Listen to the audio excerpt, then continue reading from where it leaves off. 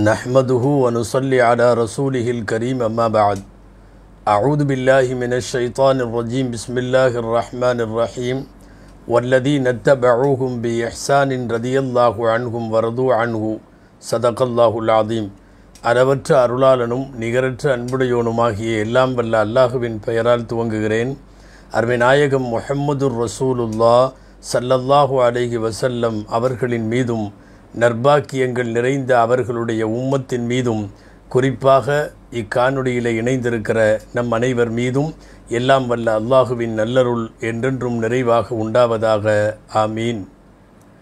அல்லாஹுவின் பேரருளால் இஸ்லாத்தின் வேர்களும் விழுதுகளும் என்கிற வரலாற்று தொடரில் தரணி போற்றும் தாபியின்களினுடைய சரித்திரங்களில் நூற்றி முப்பத்தி அஞ்சாவது சரித்திரம் ஹதரத் ஆமிர் இபினு அப்துல்லா அத் தமீமி ரஹமத்துல்லாஹி அலேஹி அவர்களினுடைய வாழ்க்கை வரலாற்றை குறித்ததாகும். பொதுவாக மார்க்க அறிஞர்கள் எழுதியிருக்கிறார்கள் ஒட்டுமொத்த தாபியின்களில் ரொம்ப ரொம்ப துறவு நிலையில் உலகப்பற்றில்லாமல் வாழ்ந்தவர்கள்னு வடிகட்டி எடுத்தால் ஒரு எட்டு பேர் எடுக்கலாம். அந்த எட்டு பேரில் முதலிலே இருக்கிறார்கள் ஆமிர் இபினு அப்துல்லா. உலகத்தை கொஞ்சம் கூட திரும்பி பார்க்காமல் வாழ்ந்த ஆன்மீக பெருந்தகை அந்த ஆன்மீகம் எப்படிப்பட்டது என்பதை உலகத்திற்கு சொல்லி தந்த பெருந்தகை ஆமிர் இபின் அப்துல்லா அத் தமீமி நாம் சுருக்கமாக ஆமிர் தமீமி என்று அழைக்கிறோம். ஆமிர் தமீமி ரஹமத்துல்லாஹி அலிஹி அவர்களினுடைய பல்வேறு தாபியின்களுடைய குறிப்புகளை எழுதி தருகிற அல்லாமா தஹபீர் ரஹமத்துல்லாஹி அலிகி அவர்கள் தங்களுடைய சியரு ஆலாமின் நுபலா நூலில் இவர்களை குறித்து ஒரு சிறிய குறிப்பொன்றை தருகிற போது அல் குத்வா வல் வலி வஸ்ஸாஹித் இவர்கள் முன்னோடியானவர்கள் துறவு வாழ்க்கை வாழ்ந்தவர்கள் அதாவது துறவி என்று சொல்ல முடியாது உலகத்தினுடைய வனப்புகளின் பக்கம் திரும்பி பார்க்காமல் வாழ்ந்தவர்கள் மிக முக்கியமாக இறைநேசர் என்றெல்லாம் இவர்களை அடையாளப்படுத்தினார்கள். அல்லாமா இபுனுல் ஜவுசி ரஹமத்துல்லாஹி அலிஹி அவர்கள் இவர்களை பற்றி எழுதுகிற குறிப்புகளில் ஹதரத் உமர் ரதி அல்லாஹு அன்ஹு அவர்களிடமிருந்து ஹதீஸுகளை அறிவித்திருக்கிறார்கள். சல்மான் ஃபார்சி ரதி அல்லாஹு அன்குடமிருந்து ஹதீஸுகளை அறிவித்திருக்கிறார்கள். இவர்களின் சரியான பிறந்த தேதியும் வருடமும் வரலாற்றுகளில் குறிப்புகள் இல்லை என்றாலும் ஒன்று தெரிகிறது. நபிகள் சல்லல்லாஹு அலிக வசல்லமுடைய காலத்திலேயே பிறந்திருக்க வேண்டும். பெருமானாரை சந்திக்க முடியாமல் போனதால் இவர்கள் தாபிஐ என்று அறியப்பட்டிருக்க வேண்டும். காரணம் மிக முக்கியமான சஹாபாக்கள் அத்தனை பேரையும் இவர்கள் சந்தித்திருக்கிறார்கள். ரொம்ப முற்காலத்திலேயே இவர்கள் இருந்த காரணத்தால் தான் தாபியின்களில் மூத்த தாபியின்களாக கருதப்படுகிற ஹசன் பஸ்ரீர் அஹமத்துல்லா அலேகி முகம்மது பின் சீரின் ரஹமத்துல்லாஹி அலிகி போன்ற பெருமக்கள் எல்லாம் இவர்களிடம் ஹதீஸை கற்றிருக்கிறார்கள் என்பது இவர்கள் ஒரு மூத்த குடியாக அன்றைக்கு இருந்திருக்கிறார்கள் என்பதற்கு அடையாளம்.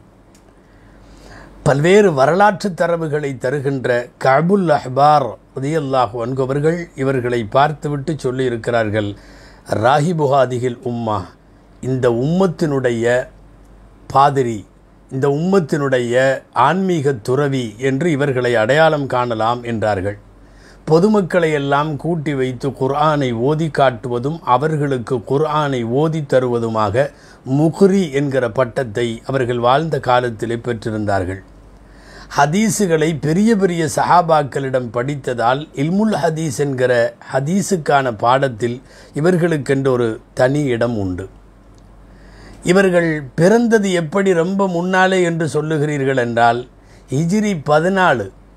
பதினாலுன்னா நபிசல்லா அலி செல்லம் வஃத்தாகி நாலு வருஷம் கழித்து உமர்ரதியல்லாஹு அன்கு அன்ஹு போருக்கு படை அனுப்புகிற போது இவர்கள் போர் வீரராக நிற்கிறார்கள்.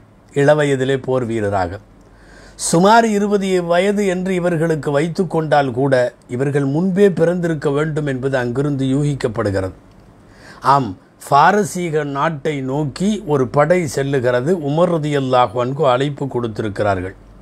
அரபகத்தினுடைய எல்லா ஊர்களிலே இருந்தும் அந்த படையிலே பாரசீகத்தை நோக்கி போவதற்கு மக்கள் திரண்டு வந்தபோது நஜிதிலே இருந்து புறப்பட்டு வந்த வாலிபர் இன்றைய ரியாத்து பகுதியிலே இருந்து புறப்பட்டு வந்த வாலிபர் தான் ஆமிர் தமீமி ரஹமத்துல்லாஹி அலிகி அவர்கள்.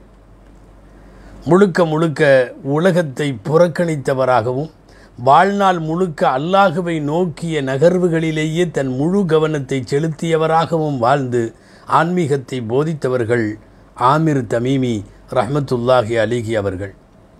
நான் சொன்னேனே உமரதி எல்லான்னு படையை அனுப்பிச்சி விட்டாங்க இவங்க அதில் போனாங்க வாலிபராகன்னு.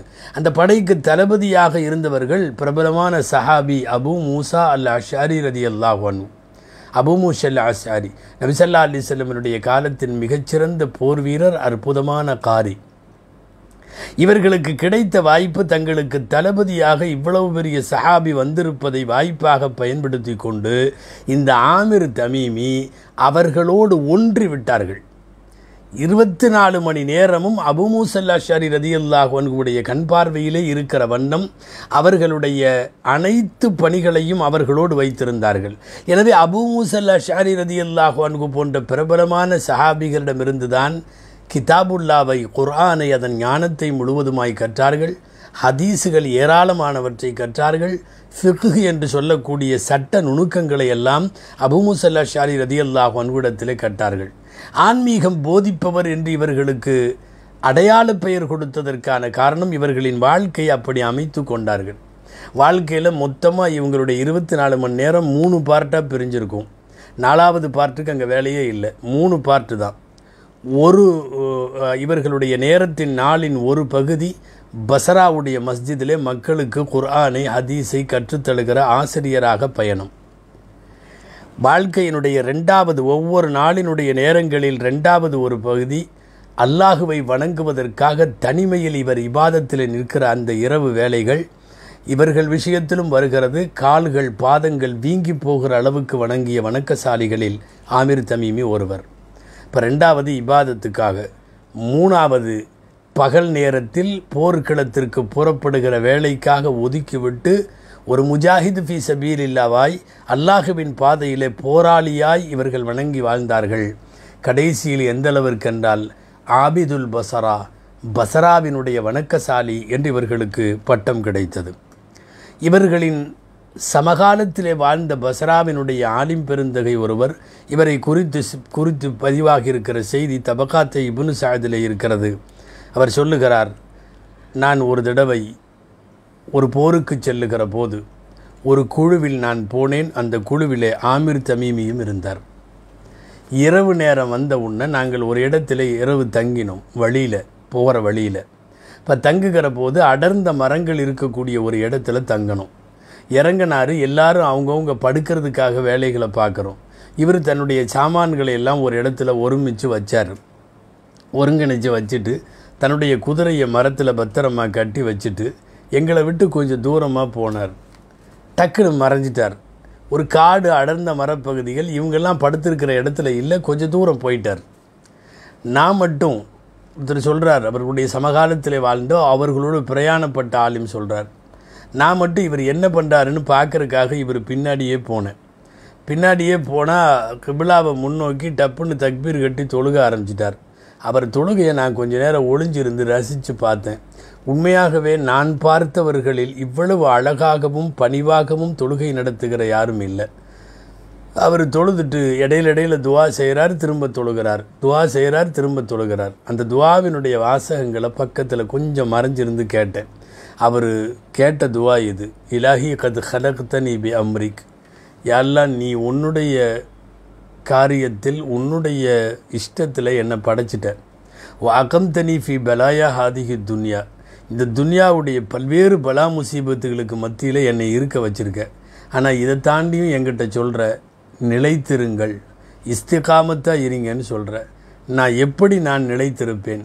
உன் கருணையால் உன்னுடைய கிருபையால் இந்த மார்க்கத்தில் என்னை நிலைக்க வைக்காவிட்டால் நான் அப்படி இருக்க முடியாது என்று சொல்லிவிட்டார்கள். சொல்லிவிட்டு அல்லாஹுவிடத்திலே யா கவியு யா மதீன் சக்தி வாய்ந்தவனே என்று அல்லாஹுவை அழைத்துவிட்டு துவா செய்கிறார்கள். யாழ்லா இந்த உலகம் முழுக்க எனக்கு தரப்பட்டு உலகம் முழுக்க எனக்கு சொந்தம்னு கொடுக்கப்பட்டு சும்மா துலிபத்து மின்னி மர்தா தன்லக் உன்னுடைய பொருத்தத்திற்காக இதை தருவாயா? என்று கேட்டால் என்னுடைய முழு துனியாவையும் கொடுத்து விடுவேன். எனக்கு தேவை உன்னுடைய பொருத்தம் மட்டும்தான். எனக்கு அதை தருவாயாக ரஹமர் ராஹிமீனே என்று அவர்கள் துவா செய்திருக்கிறார்கள். எல்லா நேரங்களிலும் என் முசீபத்தில் எனக்கு லேசாக்கி வை. உன்னுடைய விதி எதுவானாலும் என்னை பொருந்தி கொள்ளுவதற்கு வாய்ப்புத்தா என்று ஆழமான கருத்துக்களை உள்ளடக்கி இருக்கக்கூடிய துவாவை கேட்டவர்கள் ஆமிர் தமீமி. இவர் பின்னாடி ஃபாலோ பண்ணிட்டு போனவர் சொல்கிறாரு கொஞ்ச நேரத்தில் எனக்கு தூக்கம் வந்துருச்சு. நான் அங்கே ஒரு மரத்தடியில் படுத்திருக்கிறேன். இவரை பார்த்துக்கிட்டு நான் தூங்கிட்டேன். அதிகாலையில் சுபுவுக்கு முன்னாடி முழிக்கிறேன். இவர் அப்பவும் தொழுதுட்டு தான் இருக்கிறார். அதுக்கப்புறம் ஃபரலாக்கப்பட்ட தொழுகைகளை தொழுதார். அவர் வந்து தொழுது முடித்ததுக்கப்புறம் சுபுகு தொழுகை முடித்ததுக்கப்புறம் அல்லாட்ட துவா செய்கிற வாசகம் இதுதான். என்ன வாசகம்? அல்லாஹும்மை இன்னி அஸ் அலுக சலாதா யாரெல்லாம் நான் உன்கிட்ட மூணு துவா கேட்டேன். மூணு துவா கேட்டேன். ஃபத்தை தனி இஸ்னேனி ஒமானத்தனி வாஹிதா. ரெண்டை கொடுத்துட்ட. இன்னும் ஒன்றை மட்டும் நீ கொடுக்காம இருக்கிற. அல்லாஹும் அத்தனிஹா அதையும் எனக்கு கொடு அப்படின்னு கேட்டார். நீ அப்படி கொடுத்தா நான் ஹத்த அபுதக்க கம ஒஹிப்பு அர்தா. நான் விரும்பின மாதிரி உன்னை வணங்கிட்டு இருக்க முடியுமே. எனக்கு அதை கொடு அப்படின்னு சொன்னார். இப்போது நான் மெதுவாக அவரை பார்த்துட்டு இருக்கேங்கிறத துவா முடிஞ்சதுக்கப்புறம் அவர் பார்த்துட்டார். படபடப்போட நேராக வந்து நீ என்னை கவனிச்சிட்டு இருந்தியான்னு கேட்டார். அராக்க குந்த தர்குபுனி ஃபில்லைலா இரவு முழுக்க என்னை கவனிச்சிட்டு இருந்தியா அப்படின்னு கேட்டார். நான் ஆமான்னு சொன்னேன். இப்போ அவர் என்கிட்ட சொன்னார் தயவு செய்து பொதுமக்கள்கிட்ட போய் நான் இப்படி இரவெல்லாம் தொழுதுட்டு இருந்தேனோ துவா செஞ்சிடேனோ செஞ்சுட்டு இருந்தேனோ மக்கள்கிட்ட போய் சொல்லிடாத அல்லாவுக்காக உன்கிட்ட கேட்குறேன் என்னுடைய சம்பந்தமாக நீ பார்த்ததை மறைச்சிரு. அல்லாஹ் உன்னுடைய குறைகளை மறுமையிலே மறைப்பான் அப்படின்னு சொன்ன உடனே நான் சொன்னேன் நீ மூணு துவா கேட்டு ரெண்டு கபூல் ஆச்சு ஒன்று கபூல் ஆகலைன்னு அல்லாட்டு சொன்னீங்கல்ல அது என்னன்னு எனக்கு சொல்லுங்கள் சொல்லிட்டா நான் யார்கிட்டையும் சொல்ல மாட்டேன். இல்லைன்னா நான் இரவு முழுக்க உங்களை பார்த்ததை பற்றி வெளியே போய் சொல்லுவேன் அப்படின்னு சொன்ன உடனே பிடிவாதமாக கேட்டதுனால வேறு வழி இல்லை. சொன்னாங்க நான் உனக்கு சொல்கிறேன் ஆனால் ஒன்று அமானத்து அல்லாஹுடைய அமானிதம் நீ உயிரோடு இருக்கிற வரையும் என்னை பற்றிய விஷயங்களை வெளியில் சொல்லக்கூடாது. சரின்னு உறுதி வாங்கிட்டு சொன்னாங்க. நான் மூணு துவா கேட்டேன் அல்லாட்ட. ஒன்றாவது துவா கேட்டேன் என்னென்னா லம்யக்குன் ஷையுன் அஹ்வஃப அலைய ஃபி தீனி மினன் நிசா. என்னுடைய வாழ்க்கையில் நான் ரொம்ப பயப்படுறது பொம்பளைங்க விஷயத்தில் பெண்கள் விஷயத்தில்.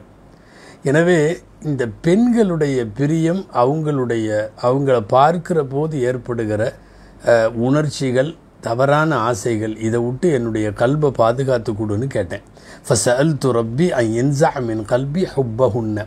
இந்த பெண்களின் பிரியம் என் கல்பிலிருந்து போயிடணும்னு கேட்டேன். அல்லாஹ் எனக்கு அதை கபூலாக்கி விட்டான் இன்னைக்கு நான் ஒரு சுவற்றை பார்ப்பதும் ஒரு பெண்ணை பார்ப்பதும் என்னை பொறுத்தவரை சமம். ஒரு ஒரு கல்லால் மண்ணால் செங்கலால் கட்டப்பட்ட ஒரு சுவற்றை பார்த்தால் எப்படி உணர்ச்சிகளால் உந்தப்பட மாட்டோமோ அதுபோலத்தான் பெண்ணை பார்த்தாலும் அல்லாஹ் எனக்கு அதை ஏற்றுக்கிட்டான் அடுத்து சொன்னாங்க ரெண்டாவது நான் அல்லாட்ட கேட்டது சல்து ரப்பி அல்லா அஹாஃபு அஹதன் கைரகு இந்த பூமியில் யாரெல்லாம் உன்னை தவிர நான் வேறு யாருக்கும் பயப்படக்கூடாது அப்படின்னு அல்லாட்ட கேட்டேன். ஃபஸ்தஜாபலி அல்லாஹ் எனக்கு அதையும் கபூலாக்கி கொடுத்துட்டான். இன்னைக்கு தேதியில் நான் வானத்திலையும் சரி பூமியிலையும் சரி அல்லாவை தவிர வேறு எவன் வந்தாலும் பயப்பட மாட்டேன் என்று சொல்லிவிட்டார்கள். அப்போ அவர் கேட்டார் இந்த ரெண்டும் ஓகே கபூல் ஆயிடுச்சு அப்போ மூணாவது அல்லாஹ் தராது ஒன்று சொன்னீங்களே அது என்ன அப்படின்னு. இப்போ அவர் சொன்னார் சல் து ரப்பி ஐ எதுஹப அன்னி நௌமு அத்த அப்தஹூ பில்லைலி ஒன் யா அல்லா எனக்கு வாழ்க்கையில் இந்த தூக்கம்ங்கிறது வேணாம். அதை நீ எடுத்து விட்டுரு. நான் இரவும் வணங்க வேண்டும் பகலும் வணங்க வேண்டும். எனக்கு அதுதான் ஆசை. தூக்கத்தை எடுத்துருன்னு கேட்டேன். அல்லாஹு தாலா இந்த மூணாவதை எனக்கு வந்து எடுத்து விடலை. தூக்கத்தை வந்து எடுத்து விடலை. இப்போ இவர் கேட்டுட்ருக்கிறவர் அவர் சொல்கிறாரு அப்போ நான் சொன்னேன் எப்பா கொஞ்சமாவது மென்மையாக நடந்துக்கோ. நீ ஏற்கனவே உன்னுடைய பகலையெல்லாம் நன்றாகத்தான் நடத்தி கொண்டிருக்கிறாய். உன்னுடைய இரவையெல்லாம் இபாதத்திலே தான் கழித்து கொண்டிருக்கிறாய். இரவிலே நீ துறவியைப் போல இருக்கிறாய் பகலிலே போர்வீரனைப் போல இருக்கிறாய். உன் போன்றவர்களுக்கு சொர்க்கம் கிடைக்கிறதுக்கு நீ செய்யறதுல கொஞ்சம் செஞ்சாவே சொர்க்கம் கிடைச்சிரும். நீ செய்யறதுல கொஞ்சம் செஞ்சாவே நரகத்தை விட்டு காப்பாத்திரலாம். அப்படி இருக்கிறப்போ நீ ஏன் இதை செஞ்ச? இப்படி ஏன் இதை கேட்குற? அப்படின்னு எல்லாம் சொன்னதுக்கப்புறம் அவர் சொன்னார் இந்நஜவுத்து ஃபபீர் அஹமத் இல்லா மறுமையில் ஒருவேளை எனக்கு வெற்றி கிடைக்குமானால் அது அல்லாஹுடைய அருள். ஒருவேளை நான் நரகம் போவேனே ஆனால் அது அல்லாஹ் என் மீதான கோபம்னு நான் சொல்ல மாட்டேன். நான் செய்த அமல்களில் ஏற்பட்ட குறைகளால் நான் நரகம் போகிறேன்.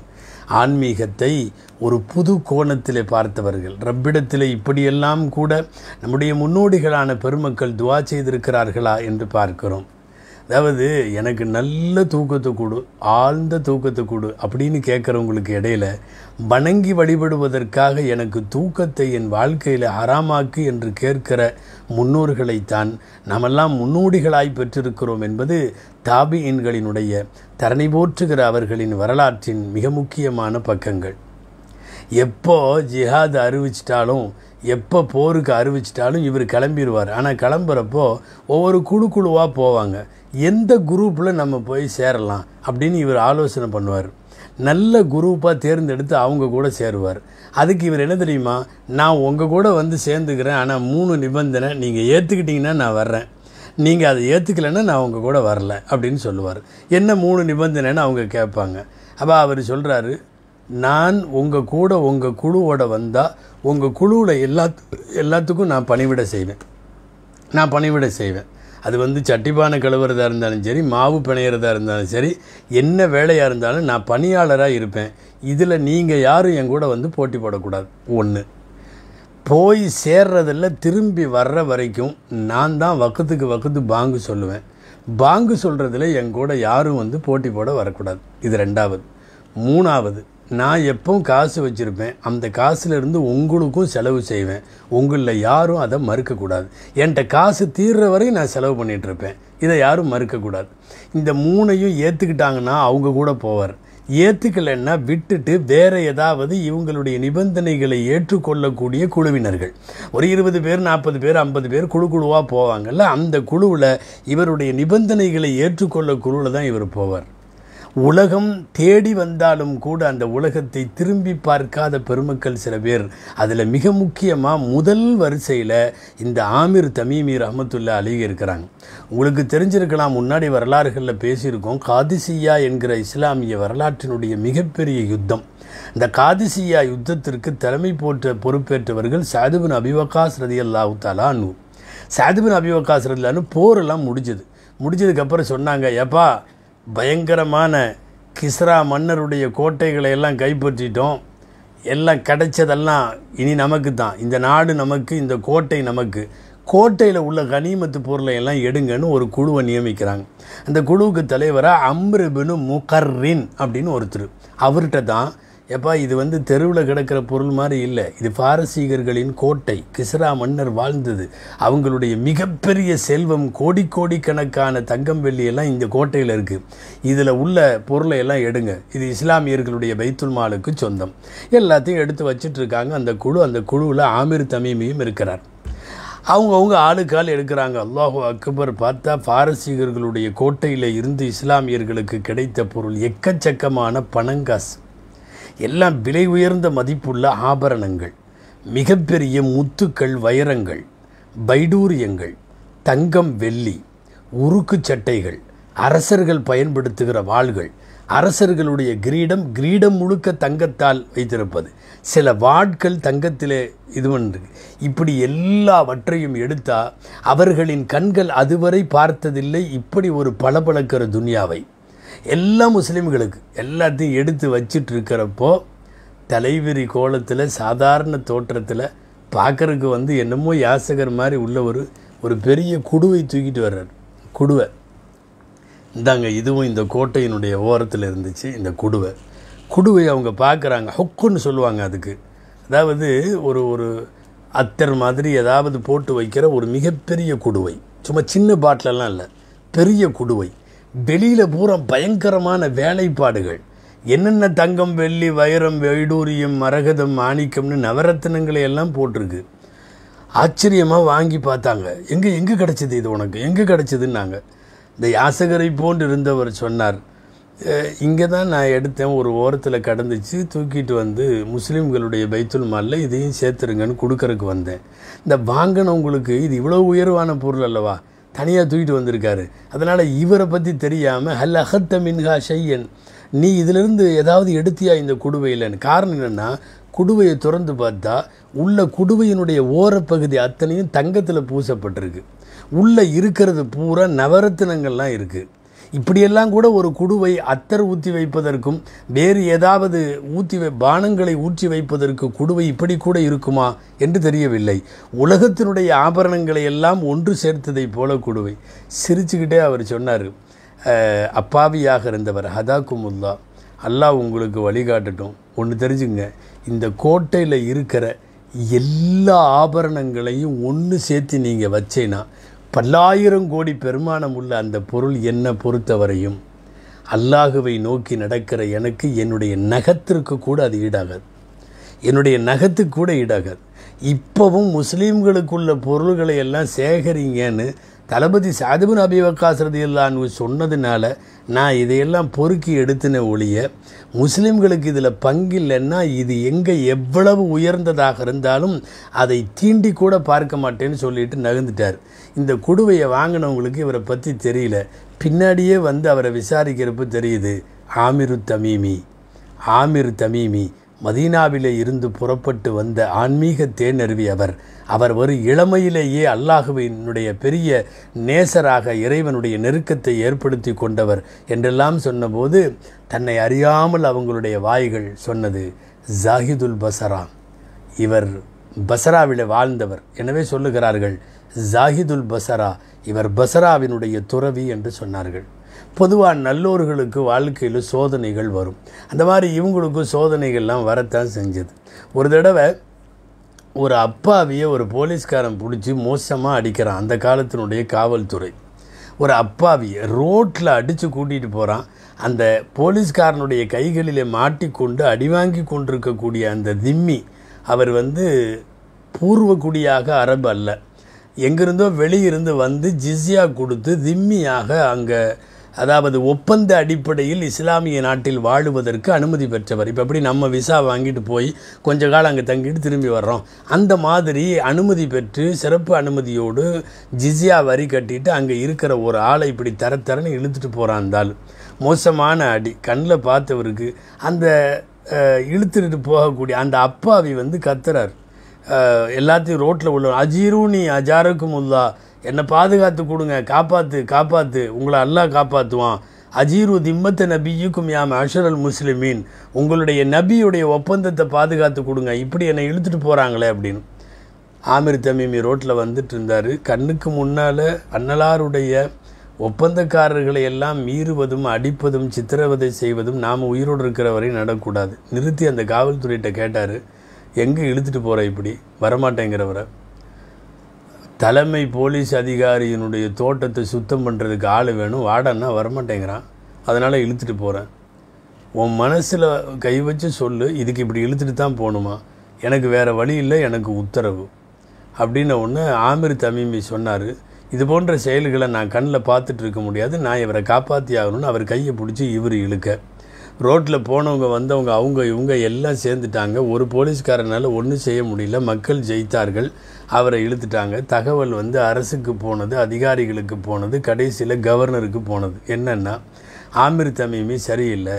அவர் அரசாங்கத்துக்கு எதிராக நடக்கிறார் எல்லா விஷயத்துலையும். பொதுவாக இப்படி ஒருத்தர் மாட்டின உடனே பழைய வழக்கையெல்லாம் எடுத்துருவாங்கள்ல அதனால் டக்குன்னு இவர் மேலே நடவடிக்கை எடுக்கிறதுக்காக என்ன பண்ணாங்கன்னா வேறு வேறு வழக்கையெல்லாம் ஜோடிச்சு விட்றது. இப்போ அப்படி தான் நடக்குது. ஒருத்தர் சிக்கிட்டாருன்னு வைங்களேன் அவர் வந்து இருபது வருஷத்துக்கு முன்னாடி பண்ணது பதினஞ்சு வருஷத்துக்கு முன்னாடி பண்ணது அப்போவெல்லாம் இவனுக்கு தெரிஞ்சிட்டே கண்டுக்காமல் விட்டது. எல்லாத்தையும் கொண்டு வந்துடுறாங்கல்ல. அந்த மாதிரி இவர்கிட்ட போய் கவர்னர்கிட்ட புகார் கொடுக்குறாங்க. என்ன தெரியுமா? ஒன்று அரசாங்கத்தையும் அதிகாரிகளையும் இவர் மீறுகிறார். ரெண்டு இவர் சுண்ணத்துவல் ஜமாத்தை மீறி நடப்பவரை போல தெரிகிறது. மூணு திருமணம் செய்யாமல் வாழுகிறார். திருமணம் செய்யாத துறவு வாழ்க்கையை வந்து இவர் விரும்பி அதை செய்கிற மாதிரி தெரியுது. இவரை பார்த்து மற்றவங்களும் அந்த மாதிரியே கெட்டு போகிறதுக்கு வாய்ப்பு உண்டு.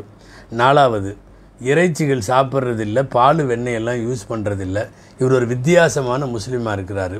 எனக்கு என்னவோ இவர் சரியான பாதையில் இருக்கிற முஸ்லீம் மாதிரி தெரியலைன்னு புகாரை கட்டி விட்டு இத்தனை புகார்கள் விசாரணைக்கு வருது. இப்போ என்ன பண்ணாங்க? நேராக மதீனாவுக்கு உஸ்மான் ரதியுல்லானுக்கு இந்த புகாரை அனுப்புகிறாங்க பசராவிலே வாழுகிற ஆமிர் தமீமி என்கிற நல்லடியார் பார்ப்பதற்கு நல்லடியாராக ஊர் உலகத்தால் மதிக்கப்படுகிற இவருக்கு பின்னணியில் இவ்வளவு இருக்குது அப்படின்னு அனுப்பிச்சி விட்டாங்க. உஸ்மான் ரதியுல்லான்னு உடனே பசராவில் இருக்கிற கவர்னருக்கு ஆர்டர் போட்டாங்க. ஆமிர் நல்ல மனிதர் உயர்ந்த மனிதர். ஆன்மீகத்திலேயே தன்னுடைய காலத்தை கடத்துவார். முதல்ல கூப்பிட்டு அவர் மேலே வந்திருக்கிற ரிப்போர்ட்டுக்கெல்லாம் விளக்கம் கேளுங்க அப்படின்னாங்க. கூப்பிட்டு விட்டாச்சு கவர்னர் இடத்துல வந்தாச்சு. வந்த உடனே ஆமிர்கிட்ட உங்கள் பேரில் இந்த ரிப்போர்ட்டெல்லாம் வந்திருக்கு. ஆமாம் நீங்கள் ஏன் கல்யாணம் பண்ணுறதில்ல இவர் சொன்னார் திருமணத்தை வெறுத்தவனாக துறவு நிலையை இது பண்ணவனாக நான் கல்யாணம் பண்ணாமல் இருக்கலை. திருமணத்தை வெறுக்கிறவன் இல்லை அது ரசூலுல்லாவுடைய சுண்ணத்துங்கிறதும் எனக்கு தெரியும். இஸ்லாத்தில் ரஹ்பானியத் என்கிற சந்நியாசத்துக்கு இடம் இல்லை அப்படிங்கிறதும் எனக்கு தெரியும். எனக்கு இருக்கிறது ஒரே ஒரு நப்சு நான் அதை அல்லாட்ட கொடுத்துட்டேன். ஒருவேளை நான் பெண்களை திருமணம் செய்கிற போது அவர்களின் அன்பு எனக்கு மனசில் மிகச்சு அல்லாட்ட இருந்து நான் கொஞ்சம் நகுந்துக்கணும்னு ஒரு பயம் எனக்கு. நான் அதனால் திருமணம் பண்ணலையே ஒழிய வேற யாரையும் திருமணத்தை விட சொல்லியனா நான் வற்புறுத்தில் திருமணம் புரிந்து வாழுதல் சுண்ணத் என்பது எனக்கு நன்றாக தெரியும். அப்படின்னு பதில் சொல்கிறார் ரெண்டாவது கேள்வி கேட்டாங்க. இறைச்சியெல்லாம் சாப்பிட்றது இல்லையாமே? அப்படின்னு.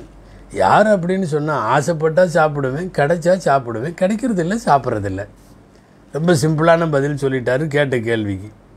இல்லை இந்த வெண்ணெய் பொருள் அது இது இது எல்லாம் அது வேணால் உண்மை தான் காரணம் என்னென்னா நான் இருக்கிற பகுதியில் அதிகம் இந்த இறைச்சி சம்பந்தப்பட்ட வெண்ணெய் எடுக்கிற வேலையெல்லாம் செய்கிறது யாருன்னா மஜூசிகள் என்கிற நெருப்பை வணங்குபவர்கள். அவங்கள பொறுத்தவரையும் அல்லாஹ் பெயர் கூறி அறுக்கப்பட்ட இறைச்சியில் இருந்தும் எடுப்பாங்க.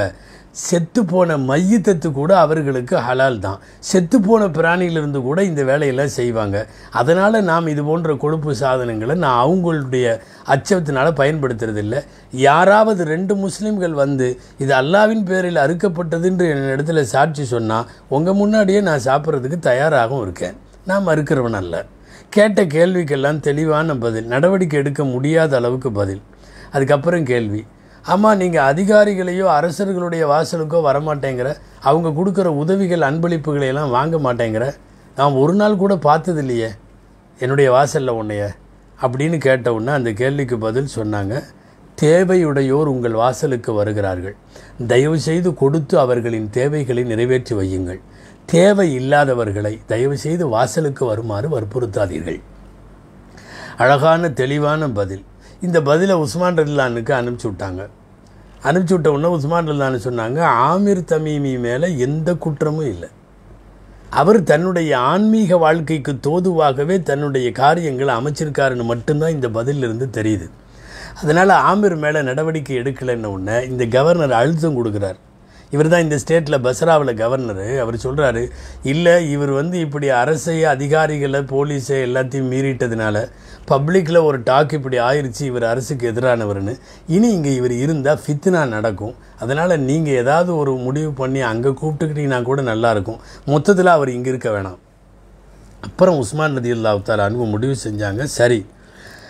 அதிகமாக பிரச்சனைகளும் விமர்சனங்களும் வரக்கூடியதுனால ஒரு வேலை செய்யலான்னு சொல்லிட்டு ஷாம் தேசத்திற்கு அவரை அனுப்பிச்சிருங்க. இனி பஸ்ரால வைக்க வேணாம். அப்படின்னு இங்கே உத்தரவு போட்டு அன்றைக்கு ஷாமினுடைய கவர்னராக இருந்த முவாவியா ரதியல்லானுக்கு உஸ்மான் ரதியல்லான்னு கடிதம் எழுதுகிறாங்க ஆமிர் தமீமி என்றொரு நல்ல மனிதர். பசராவில் இருந்து சில உள்ளூர் குழப்பங்களின் காரணமாக அவர் ஷாமுக்கு வருகிறார். தேவையான எல்லா கண்ணியமும் செய்யுங்க. அவருக்கு தேவையான அனைத்து மரியாதைகளையும் செய்யுங்க. காரணம் வாழ்க்கை முழுக்க ஆன்மீக தரத்திலேயே தன் வாழ்வை அமைத்து கொண்ட இறைநெருக்கம் பெற்ற ஒரு நல்லடியார் மனசு கோணக்கூடாது நல்லா நடத்துங்கன்னு. அதே மாதிரி போனாங்க. போகிறதுக்கு முன்னாடி பசராவில் கிளம்புறப்ப துவா செஞ்சாங்க. எக்கச்சக்கமான மக்கள் கூடி நின்றாங்க. ஆமீர் தமீமி இந்த ஊரை விட்டு போகிறாருன்னு நிறைய பேருடைய கண்களில் கண்ணீர் குனிந்த தலைகள் எல்லாத்துட்டையும் சொன்னார். தயவு செய்து நான் கிளம்புறத பெருசாக எதுவும் பண்ண வேண்டாம். நான் ஒரு துவா மட்டும் இப்போ ஓதுவேன். நீங்கள் ஆமின்னு சொல்லுங்கன்னு சொன்னார். ஃப அம்மினும் இதை அது ஆவுத்து எல்லாரும் கையெடுத்தாங்க. ஃப ரஃபா எதை கையை தூக்கி வச்சுட்டு துவா செஞ்சார். யாரெல்லாம் இந்த ஊரை விட்டு நான் போவதற்கு யார் யாரெல்லாம் காரணமோ அவங்கள எல்லாத்தையும் நான் மன்னிச்சிட்டேன். யாரெல்லாம் நீங்களும் அவளை மன்னி மன்னிச்சிரு. அவங்களுடைய தீன் துன்யா ரெண்டுலேயும் அவங்களுக்கு ஆஃபியத் என்கிற ஆரோக்கியத்தை நல்வாழ்வை கொடு நான் அதை விரும்புகிறேன் அப்படின்னு சொல்ல அந்த ஊர் மக்களே ஆமீன் எல்லாம் சொன்னதுக்கு அப்புறம் கடைசியாக அவர்கள் கிளம்பினார்கள் ஷாமுக்கு போனார்கள் முஆவியா ரதியல்லாஹு அன்கு மிகுந்த கண்ணியமெல்லாம் செய்தார்கள். அங்கே போன உடனே ஷாம்லையும் கூட இவருடைய ஆன்மீகம் என்ன பண்ணுச்சு தெரியுமா? எங்கெங்கேயோ தங்கலாம். தேவைப்பட்டால் ஒரு தனி அரண்மனை கூட முஆவியா இல்லைன்னு அமைச்சு கொடுப்பாங்க. யாருக்கு? ஆமிர் தமிமிக்கு. ஆனால் சொன்னாங்க மூன்றாவது ஹரம் என்று பெயர் பெற்றிருக்கிற பைத்துல் முகத்தஸில் நான் தங்க வேண்டும். அந்த பள்ளிவாசல் தான் என் வீடு. அங்கேயே வாழணும். கடைசி வரையும் அங்கேயே மௌத்தாகணும். எனக்கு இதுக்கு அரசாங்கம் ஒத்துழைக்கணும்னு கேட்டாங்க. அவ்வாறே அனுமதி கொடுக்கப்பட்டது பைத்துல் முகத்தஸ் தான் அவர்களுடைய தங்குமிடம். ஆமிர் தமீமியை சந்திக்கணும்னா பைத்துல் முகத்தஸுக்கு வர வேண்டும் என்கிற அளவுக்கு இருந்து அங்கேயே தன் வாழ்வை நடத்திய அவர்கள் வஃபாத்து நேரம் நெருங்கிய போது அழுதார்கள். கூட இருப்பவர்கள் கேட்டார்கள் ஏன் அழுகிறீங்க? அவர் சொன்னார் அல்லாவின் மீது ஆணையாக துனியாவின் பிரியத்தினாலோ மௌத்தின் பயத்தினாலோ நான் அழுகலை. நான் அழுகிறது என்னென்னா லித்தூலி சஃபரி வக்கில்லத்தி ஜாத் அற்புதமான வார்த்தை. பிரயாணம் ரொம்ப தூரம் போகிறேன் ஆனால் என்கிட்ட இருக்கிற பார்சல் கம்மியாக இருக்குது அப்படின்னாங்க. என்ன அழகான வார்த்தை. மூணு நாளைக்கு போகிறோன்னா மூணு நாளைக்கு தேவையான ட்ரெஸ்ஸு அது இதெல்லாம் எடுத்து வைப்போம். நாற்பது நாளைக்கு முப்பது நாளைக்கு கிளம்புறோன்னா அதுக்கு தேவையான அளவுக்கு எடுத்து வைப்போம். ஆறு மாதம் ஒரு இடத்துல தங்க போகிறோன்னா அவ்வளோ பெரிய பேக்கேஜ் கொண்டு போகணும். வெளிநாட்டிலேயே போய் ரெண்டு வருஷம் வாழ போகிறோன்னா அதுக்கு தகுந்த மாதிரி கொண்டு போகணும். இவர் சொல்கிறாரு மறுமை என்கிற நீண்ட பிரயாணத்திற்கு போகிறேன். எங்கிட்ட எக்கச்சக்கமாக நன்மைகள் என்கிற லக்கேஜ் வேண்டும். ஆனால் அவ்வளவெல்லாம் இல்லையேன்னு நினச்சி நான் அழுகிறேன் என்றெல்லாம் சொன்ன இறைவனின் மிக நெருக்கத்திற்குரிய ஆமிர் தமீமி உண்மையான ஆன்மீகத்தை போதித்த அவர்கள் கலிமாவை சொல்லி கொண்டிருக்கிற போது அப்படியே ரூஹு அடங்கியது. இவர்களுடைய இறப்பின் வருஷம் குறித்து சரியான வரலாற்று தகவல்கள் எதிலும் பதிவாகவில்லை என்றாலும் அல்லாமா இபுனு சாயத் ரஹமத்துல்லாஹி அலிகி ஆதாரபூர்வமாக தங்களின் தபக்காத்தில் இவர்கள் வஃத்தாகிற போது ஹிஜ்ரி எண்பது என்று எழுதுகிறார்கள். சுமார் வயது எழுபத்தி ரெண்டு இருக்கலாம் என்று எழுதுகிறார்கள்.